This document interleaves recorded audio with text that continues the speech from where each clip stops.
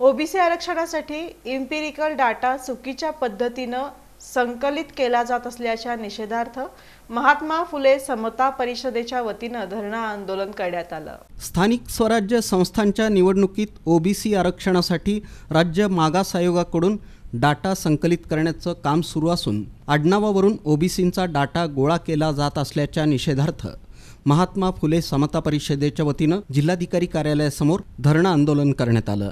यावेळी जोरदार घोषणाबाजी करण्यात आली. जय ज्योती. जय क्रांती. जय ज्योती. जय क्रांती. जय ज्योती. जय क्रांती. साहेबांचा.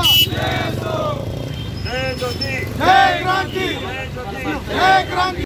दरम्यान महात्मा फुले समता परिषदेचे अध्यक्ष शशिकांत कांबळे यांनी चुकीच्या पद्धतीनं इम्पिरिकल डाटा गोळा करण्याचा निषेध व्यक्त करताना यामुळं ओबीसींचं नुकसान होईल असं ते म्हणाले. आजचा जे आजचा जो सर्वे चालू आहे आरक्षणाकरिता तो चुकीचा आहे. कारण या सर्वेमध्ये केवळ घरात बसून हा सर्वे चालू आहे. आडनावरून आणि त्यांच्या ओ पी एल याच्यावरून जात या जनगणना होत आहे त्याचा आम्ही निषेध करत आहोत.